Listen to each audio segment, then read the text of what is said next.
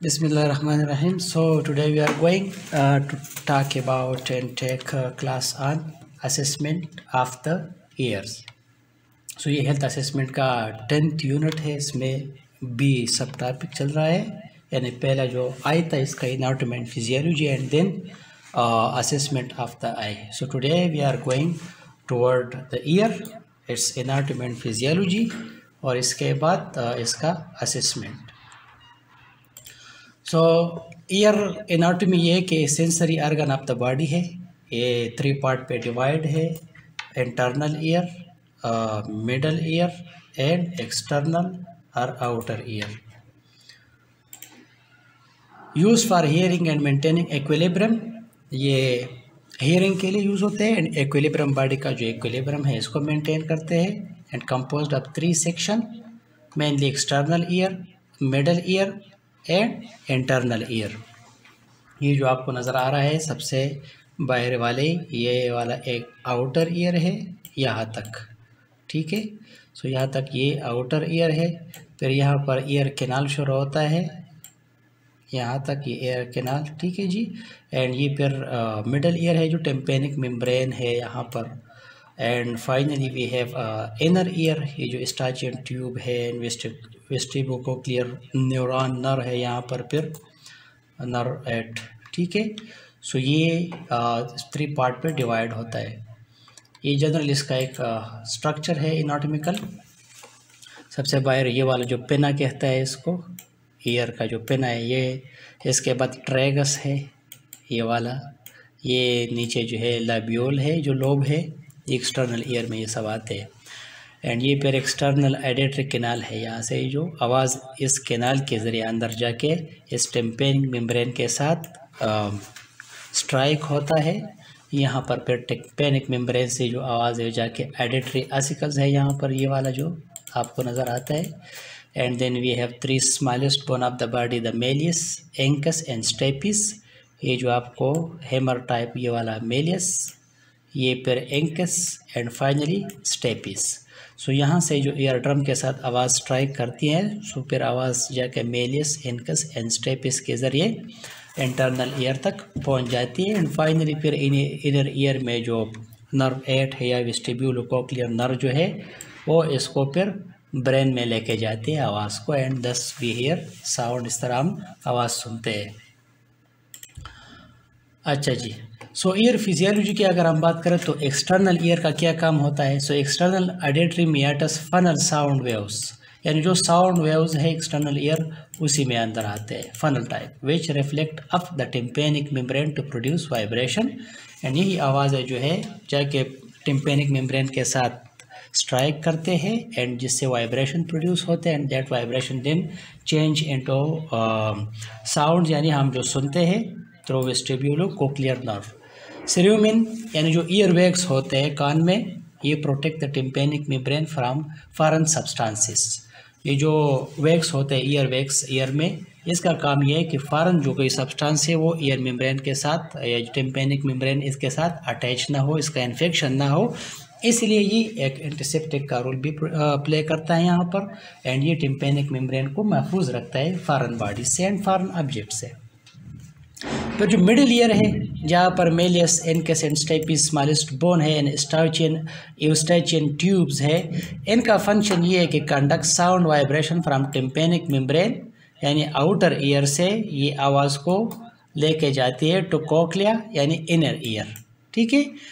तो ये आवाज़ ले जाने में ये हेल्प करती है, ये तीन जो छोटे छोटे बोन है, और इसके साथ ये जो स्टाचिन ट्यूब है Eustachian tube allow equalization of ear pressure Eustachian tube tube का ये फ़ंक्शन है कि जो इक्वलाइजेशन ऑफ़ ईयर प्रेशर है, इसको ये इक्वल रखता है।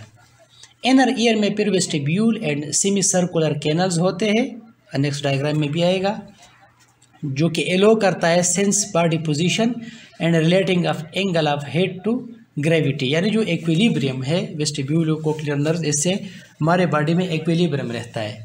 एंड फिर कोक्लिया जो है transfer vibration from stapes into nerve impulses stapes जो स्मॉलेस्ट बोन है, यहाँ से फिर जो वाइब्रेशन है, ये नर इम्पल्सिस के फॉर्म में फिर ब्रेन को भिजवाती है। तो फिर हमें पता चलता है कि फ़लाँ ने आवाज़ दी या फ़लाँ ने ये बात कही तो हमें इस तरह पता चलता है।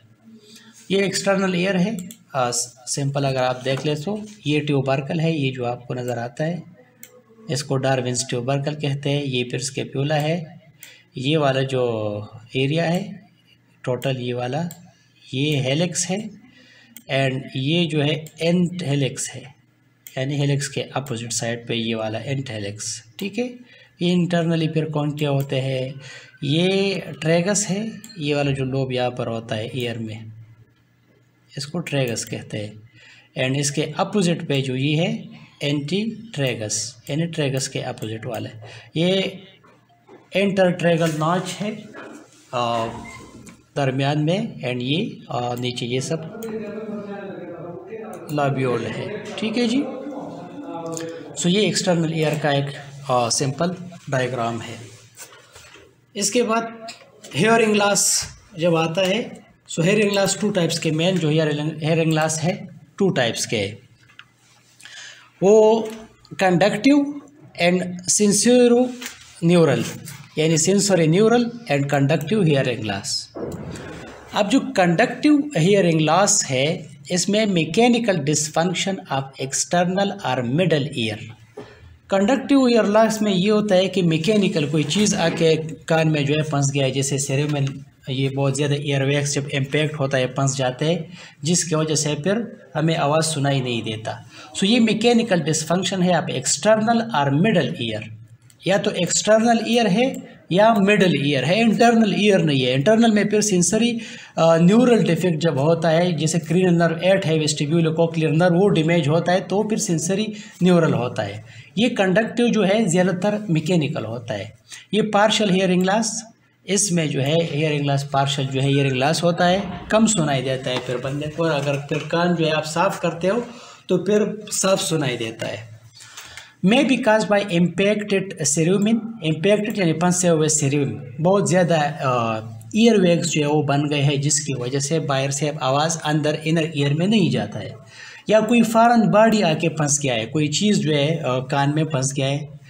परफोरेटेड टिम्पेनिक मेम्ब्रेन या जो टिम्पेनिक मेम्ब्रेन है मिडल ईयर में यहाँ पर, जो जाके मेल स्टेपिस और एनकस को साउंड वाइब्रेशन के फॉर्म में आगे प्रोपेगेट करता है। सो टिम्पेनिक मेम्ब्रेन परफोरेट हुआ है, यानी इसमें सुराख वगैरह हो गए हैं, ज़ख्मी हो गया है। And pus or serum in middle ear या तो ओटाइटस मीडिया हुआ है, यानी मिडल ईयर में इन्फेक्शन हुआ है। इसकी वजह से भी जब आप किसी को सुनाई नहीं देता है तो इसको कंडक्टिव हियरिंग लॉस कहते हैं।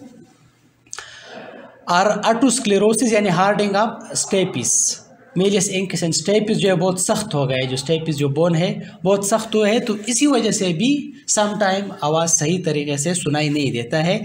तो इसको कंडक्टिव लॉस कहते हैं हियरिंग लॉस एक होता है सेंसरी न्यूरल ये जो कंडक्टिव है, ये मे बी फिक्स्ड ये ठीक हो सकता है। यानी अगर कोई चीज़ फंस गया है, या बहुत ज़्यादा इम्पेक्टेड सीरूमिन है ईयर वेक्स बहुत ज़्यादा जमा हो गए तो इसको आप निकालेंगे।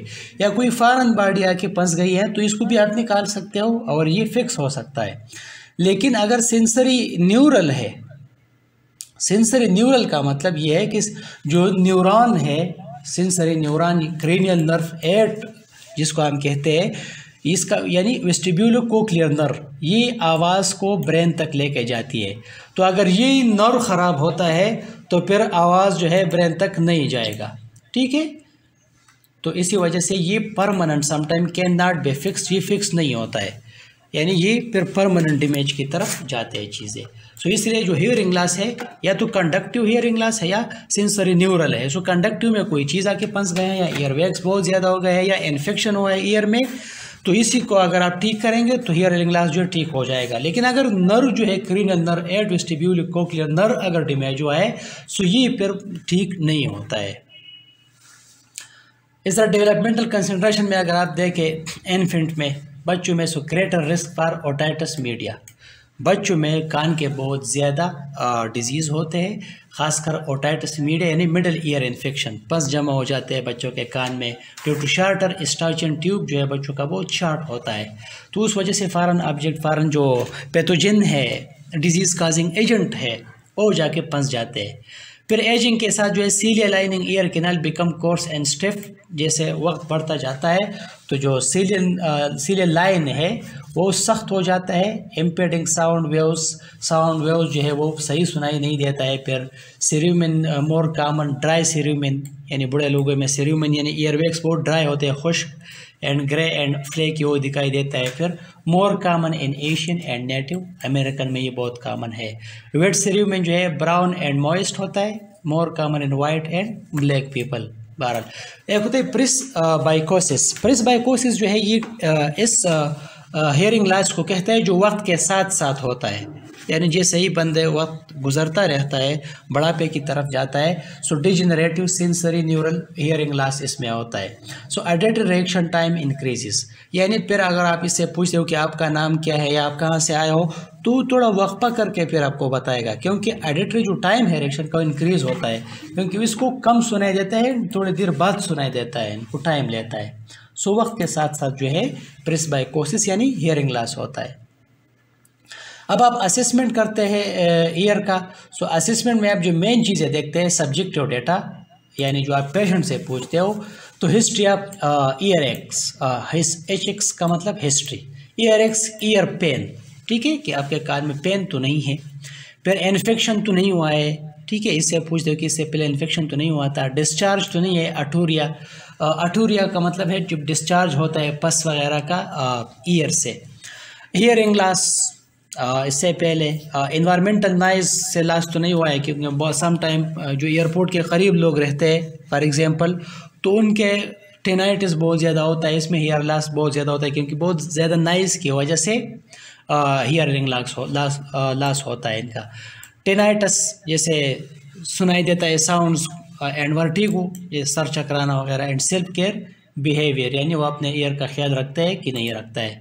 सो so, इसको हम पढ़ते हैं एक एक को ईयर एक जो है इसको अटालजिया भी कहता है यानी pain in the ear ot का मतलब ईयर एंड एलजिया का मतलब पेन लोकेशन हम देखते हैं कि कहाँ पे है करेक्टर्स हम पेन का देखते हैं। इंटेंसिटी कम है, ज़्यादा है एसोसिएटिव एंड एलिवेटिंग फैक्टर्स कौन से चीज़ों से ये ठीक होता है दर्द और कौन से चीज़ों से ज़्यादा होता है? May be directly due to ear disease या तो डायरेक्टली ईयर डिज़ीज़ की वजह से or may be referred pain from problem in teeth or oropharynx some time जो है ओरोफेरिंग से भी होता है। अच्छा जी।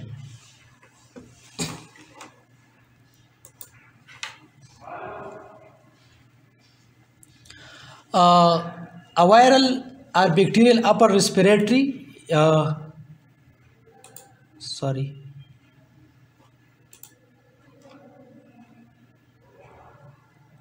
अच्छा जी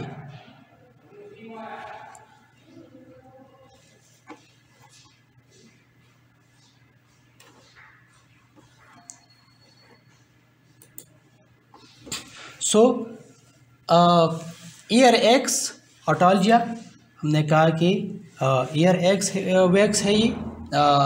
ईयर एक्स यानी जब दर्द होता है आ, कान में। ये बुशरा रशीद आवाज़ आ रही है आपको?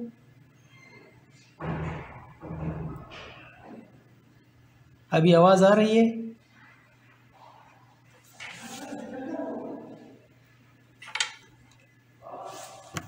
जी।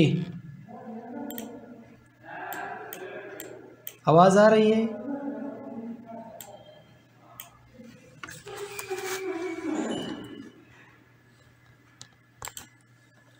अच्छा जी। सो ईयर एक्स यानी पेन इन द ईयर जिसे लोकेशन कहाँ पे है? फिर इसका हम करेक्टर्स इंटेंसिटी कम है, ज़्यादा है? एसोसिएटिव एंड एलिवेटिंग फैक्टर्स हम देखते हैं कि कौन कौन से फैक्टर से ये कम होता है और कौन कौन से फैक्टर से ज़्यादा होता है। Be directly due to ear disease or may be refer to pain from problem in the teeth or oropharynx sometime लोगों के टीथ में जो है पेन होता है दांतों में, उसकी वजह से भी ईयर पेन जो है वो महसूस होता है। या वायरल और बैक्टीरियल अपर रेस्पिरेटरी इन्फेक्शन में migrate up the Eustachian tube and involve the middle ear sometime ये होता है कि बैक्टीरिया जो है वो ईयर के अंदर जाती है और वहाँ पर इन्फेक्शन काज करती है। अच्छा जी। सो so, इन्फेक्शंस के बारे में हम पेशेंट से पूछते हैं कि इन्फेक्शन कितने टाइम आपको हुआ है?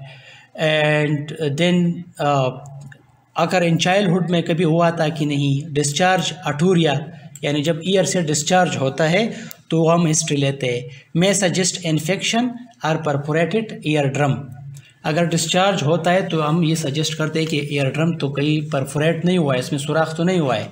ये हम नेक्स्ट फिर जाके ऑटोस्कोप से देखते हैं। Typically with perforation ear pain होता है एंड ड्रेनेज होता है। सो ओटाइटस एक्सटर्ना यानी एक्सटर्नल ईयर का इन्फेक्शन ये प्यूरिलेंट होता है, यानी पस बहुत ज़्यादा होता है इसमें एंड सेंगविनस ये जो आपने अगर पस देखा होगा एंड वाटरी ठीक है जी? बहता हुआ pus acute otitis media with perforation and purulent discharge इसमें प्यूरिलेंट डिस्चार्ज यानी पस जो है इसका डिस्चार्ज होता है। ट्रबल हियरिंग पेशेंट से हम पूछते हैं कि आपको आ, सुनने में कोई तकलीफ़ तो नहीं है ट्रबल तो नहीं है? जैसे कि ग्रेजुअल और sudden so presbycusis already आप लोगों ने पढ़ा कि gradual sensory neural hearing impairment in the elderly जितने लोग बुढ़ापे की तरफ़ जाते हैं तो कम सुनाई देता है फिर इनको। Hearing loss due to trauma is often sudden sudden जो हेयरिंग लॉस है समटाइम ट्रामा से एक्सीडेंट की वजह से भी हो सकता है। फिर टेनेटस टेनेटस का मतलब है रिंगिंग इन द ईयर्स कानों में आवाज़ें जब सुनाई देता है may be a result of medication ये मेडिकेशन की वजह से भी हो सकता है। समटाइम सम मेडिकेशन जो इस तरह के साइड इफ़ेक्ट होता है कि उसकी वजह से टेनेटस होता है। सम मेडिकेशन जो है ऑटोटॉक्सिक है वर्टिगो स्पिनिंग सर चकराना जिसको हम कहते हैं ठीक है? So subjective feeling person feel like he और शी स्पिन्स यानी बंदे को ऐसा लगता है जैसे कि वो खुद स्पिन हो रहा है। एंड ऑब्जेक्टिव फीलिंग ये है कि person feel like room spin यानी जो कमरा है कमरा जो है वो स्पिनिंग मोमेंट करता है जी। सो so, uh, ये हम देखते हैं। Environmental noise noise induced hearing loss जैसे मैंने आपको बताया कि एयरपोर्ट के करीब जो लोग रहते हैं तो उनमें सम टाइम ये प्रॉब्लम बहुत ज़्यादा होता है हेयरिंग लॉस के। अच्छा जी। Let me change this mouse इसके बाद नेक्स्ट स्लाइड पे जाते हैं। अच्छा ये कुछ लीजन है एक्सटर्नल ईयर के। आपको दिखाई देगा कि ये ओटाइटस एक्सटर्ना है ये वाला। आ, और ये जो है गाउटेड टोफा है इस तरह के जो लीजन्स आपको मिलेंगे समटाइम ये ओटाइटस एक्सटर्ना एक्सटर्नल ईयर का इन्फेक्शन हुआ है स्वेल है रेडनेस है इसमें। And then assessment of the ear में आप ऑब्जेक्टिव डेटा की तरफ़ आप जब जाते हो सो ऑब्जेक्टिव डेटा में ये है कि inspect and palpate external ear external ear को हम इंस्पेक्ट करते हैं, इसके बाद पल्पेट करते हैं, जो एक्सटर्नल ईयर है। कि पल्पेशन से हमें पता चलेगा कि टेंडरनेस वगैरह ये तो नहीं है पेशेंट को। इसके बाद नोट कलर के कलर कैसा है नॉर्मल है कि नहीं लीजन वगैरह है कि नहीं टेंडरनेस जैसे आप पल्पेट करते हो तो दर्द करता है, ऐसा तो नहीं है। एंड डिस्चार्ज आप देखते हो। If sign and symptom of ear infection so inspect unaffected ear first to avoid transferring infected material यानी अगर एक कान में इन्फेक्शन है और दूसरे में नहीं है तो जिसमें नहीं है इन्फेक्शन इसको हम पहले असेस करता है। और जो जिस कान में इन्फेक्शन है, इसको हम बाद में असेस करते हैं। इसलिए कि अगर हम इन्फेक्टेड ईयर को पहले असेस करें तो शायद वहाँ से हमारे उंगलियों के साथ कोई पैथोजन वगैरह अटैच हो और जो ठीक ईयर है, इसको हम इसको ट्रांसफ़र करें। तो इसलिए हम पहले जो है अनएफेक्टेड ईयर को असेस करते हैं। इसके लिए जो इक्विपमेंट होते हैं ईयर असेसमेंट के लिए नॉर्मली ये ऑटोस्कोप ये इसके, ये जो इसके डिफरेंट स्पेकुलम है, फिर ये ऑटोस्कोप है ये तीनों, ठीक है? एंड दूसरा ट्यूनिंग फॉर्क क्योंकि इससे हम वेबर एन रेंट टेस्ट करेंगे एंड ऑटोस्कोप से हम internal examination of the ear so generally हम क्या करते हैं कि इंस्पेक्शन करते हैं पल्पेशन एंड ऑटोस्कोप एग्जामिनेशन हम करते हैं। अच्छा जी ऑटोस्कोपिक एग्जामिनेशन में हम देखते हैं कि ये फॉर एग्जांपल आप देख लें, ये ईयर ड्रम है अंदर टिम्पेनिक मेम्ब्रेन है, ये ये इस तरह आपको नज़र आएगा। Insert otoscope and examine ear canal noting redness कि यहाँ पर रेडनेस तो नहीं है स्वेलिंग तो नहीं है इंटरनली ईयर में लीजन्स वगैरह तो नहीं है and discharge or foreign bodies या कोई डिस्चार्ज तो अंदर नहीं हो रहा है, या कोई ऑब्जेक्ट जाके फंस तो नहीं गया है। Inspection of tympanic membrane normally pearly grey ये जो आपको नज़र आता है, इस तरह पर्ली ग्रे होता है नॉर्मली शाइनी होता है जो लाइट है, इस तरह रिफ्लेक्ट होता है रिफ्लेक्शन एंड ट्रांसल्यूसेंट होता है। इस तरह चमकीले सा ये अगर आप देख लें। फ्लैट होता है slightly pulled in at centre ये सेंटर में पुल्ड इन है अंदर की तरफ़। स्किन इंटैक्ट होता है रेडनेस भी नहीं होता डिस्चार्ज भी नहीं होता। कैनाल क्लियर नो ऑब्स्ट्रक्शन ये जो एयर कैनाल है ए, ये वाला ये जो कैनाल है ये बिल्कुल क्लियर होता है और यहाँ पर कोई ऑब्स्ट्रक्शन नहीं होता। ठीक है जी? सोयाटोस्कोप को आप इंसर्ट करते हो उस पर कुलम जो भी ईयर के साथ कंपेटेबल हो। फिर आप देखते हो अंदर की कोई इन्फेक्शन तो नहीं है कोई फॉरन ऑब्जेक्ट तो नहीं फंसा हुआ है। टेम्पेनिक मेम्ब्रेन का कलर ठीक है रेडनेस तो नहीं है स्वेलिंग तो नहीं है लीजन्स तो नहीं है सो ये आप कर देखते हो जी। ये ईयर ड्रम है, यानी टिम्पेनिक मेम्ब्रेन है। इसको अगर आप देख लें, ये कोना फ़्लाइट है, यानी आपने बाहर से जब ऑटोस्कोप से आप इसको देखते हो तो ये आपको नज़र आएगा। पार स्टेंसा इसको कहते हैं, ये एनुलस है बाहर, ये वाला इलाका। ये अम्बो कहलाता है दरमियान वाला। ये एनकस इसके पीछे आपको नज़र आएगा। और ये पोस्टीरियर फोल्ड है यहाँ पर। ये पारसा फ्लैसिडा ये वाला इलाका। ये एंटीरियर फोल्ड है यहाँ पर। ये पोस्टीरियर पीछे वाला, ये interior short process of malleus आपको नज़र आता है। एंड मेन्यूब्रियम ऑफ़ मेलियस ये मेलियस का मेन्यूब्रियम है। सो ये आपको यहाँ पर नज़र आता है जी। अच्छा जी।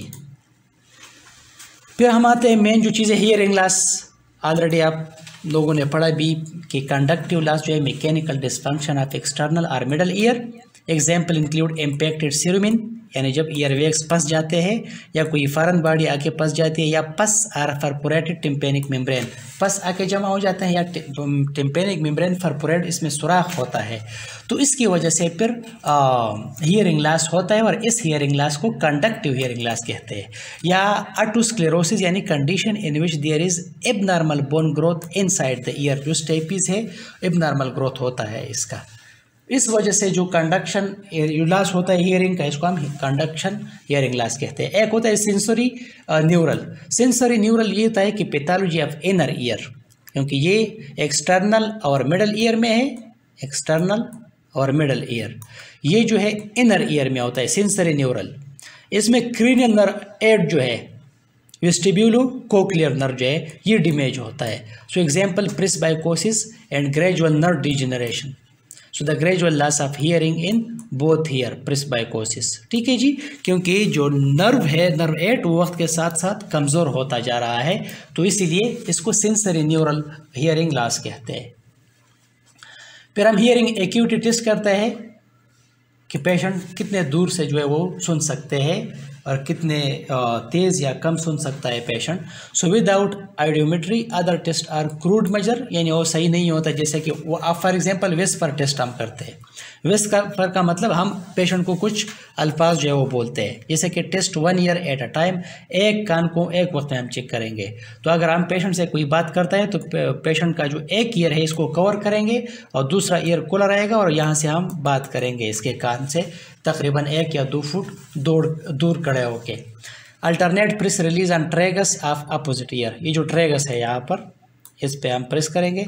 Whisper two syllable syllable word from one to two feet away ये जो भी सिलेबल वर्ड हो, आप फॉर एग्जांपल इसका नाम बोले, जो भी आप बोलेंगे person should be able to repeat back the word आप पेशेंट को कहेंगे कि जो मैं आपको बोलता हूँ, इसी को आपने वापस रिपीट करना है। तो अगर आपने एक दो फुट से पेशेंट को फॉर एग्जांपल पेशेंट का नाम पुकारा या जो भी एंड पेशेंट ने वापस जवाब नहीं दिया, इसका मतलब है कि पेशेंट को सुनाई नहीं देता है। इसको विस्पर टेस्ट कहते हैं। एक बहुत इंपॉर्टेंट जो आता है वो है वेबर टेस्ट वेबर टेस्ट में हम क्या करते हैं? ये जो ट्यूनिंग फोर्क है, इसको उठाते हैं और पेशेंट के स्कल के बिल्कुल यहाँ पर दरमियान में रखते हैं। So valuable when person report hearing better with one ear यानी सम टाइम इसको हम जब स्ट्राइक करते हैं वेबर टेस्ट में सो so ये वाइब्रेशन इस कान कान में और यहाँ से वाइब्रेशन इस कान में इक्वली आएगा। लेकिन सम टाइम फॉर एग्जांपल एक कान में नहीं आता है। इसका मतलब है कि मसला है कंडक्शन मसला है। कंडक्शन का मतलब ये है कि इस कान में अगर सुनाई नहीं देता है तो इसका मतलब है कि इस कान में कोई चीज़ फंस गया है। So strike tuning fork and place on mid of the skull tuning fork को अपने हाथ से या किसी चीज़ के साथ स्ट्राइक करें और यहाँ पर रखें। इसके बाद tone should be equally loud bilaterally जो टून है यहाँ से, इस कान में भी और इस कान में भी इक्वली आएगा। कंडक्टिव लॉस कंडक्टिव लॉस कब होगा? When person will hear less sound in normal ear normal ear है, इसमें वो कम साउंड इसको सुनाई देगा। सो सेंसरी लॉस क्या है? Sensory neural loss person will hear less sound in affected ear जो पर्सन है और जो ईयर अफेक्टेड है, उसमें कम सुनाई देगा इसको। कंडक्टिव लॉस में जो पर्सन है नॉर्मल ईयर में इसको कम सुनाई देगा। तो ये वेबर टेस्ट है। सो इससे हमें पता चलेगा कि सेंसरी न्यूरल लॉस है या कंडक्टिव लॉस है। एक आता है इंपॉर्टेंट और रिन टेस्ट ये जो रिन टेस्ट है, इसमें क्या होता है? इसमें भी यही जो फॉर एग्जांपल ट्यूनिंग फोर्क है strike and place tuning fork on mastoid process ये जो पीछे है मास्टाइड प्रोसेस ये तो वेबर टेस्ट हो गया। ऑलरेडी ऊपर हमने कर लिया। ठीक है जी? ये फॉर एग्जांपल अब रेंट टेस्ट है। इसमें मास्टाइड प्रोसेस ये कान के बिल्कुल पीछे यहाँ पर। ये आप देख ले ज़रा। यहाँ पर रखते हैं जी। ठीक है जी? इसके बाद क्या करते हैं? Strike and place tuning fork on mastoid process sound heard through bone conduction क्योंकि हमने बोन पे रखा हुआ है ट्यूनिंग फोर्क को तो ये बोन कंडक्शन शुरू होगा यहाँ से, कान की तरफ़। So instruct person to signal when sound stop आप बंदे को कहेंगे कि जब आवाज़ बंद हो जाता है तो आप हमें सिग्नल करें, यानी हाथ उठाए या सर हिलाए तो हमें पता चले कि हाँ आवाज़ स्टॉप हो गया है। Quickly reposition fork in front of ear फिर आप हवा में इस तरह अपने ट्यूनिंग फोर्क को लेके आते हो। हवा में and sound heard through ear conduction, ये फिर ईयर कंडक्शन से बंदे को सुनाई देगा आप। पहले आपने रखा था बोन के ऊपर, अब आपने ईयर कंडक्शन के ज़रिए यहाँ से आवाज़ जाती है अंदर। Oh, sorry. अच्छा जी।